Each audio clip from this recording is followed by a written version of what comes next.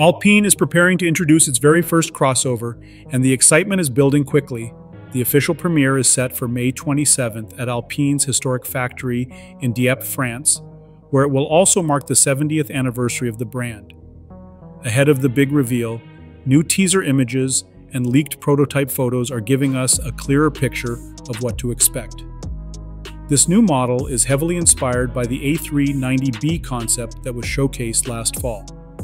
At the time, Alpine said the concept was around 85% true to the final production version. Now that more visuals are available, we can see there are some notable changes. The rear roof line will be a bit more upright, improving headroom. The wheel arches are smaller, and the body stands a bit taller overall. The sleek, two-tier LED headlights remain up front, stretching across the width of the vehicle, though their detailing has been refined retractable handles for the front doors, and hidden ones in the rear door frame add to the modern design.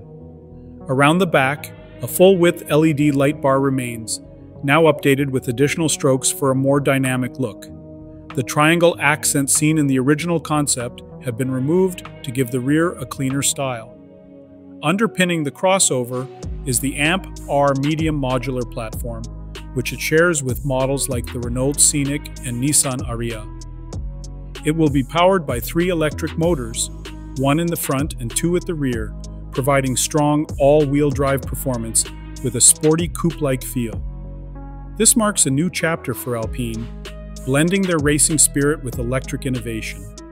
Let us know what you think in the comments, and do not forget to like, subscribe, and hit that notification bell for more updates.